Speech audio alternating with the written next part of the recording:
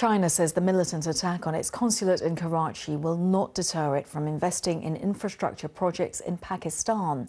No consular staff were hurt in the attack, but two Pakistani police officers, two local people, and the three gunmen were all killed. A separatist group, the Baluchistan Liberation Army, which opposes Chinese influence in Pakistan, said that it had carried out this assault. Secunder Kermani reports.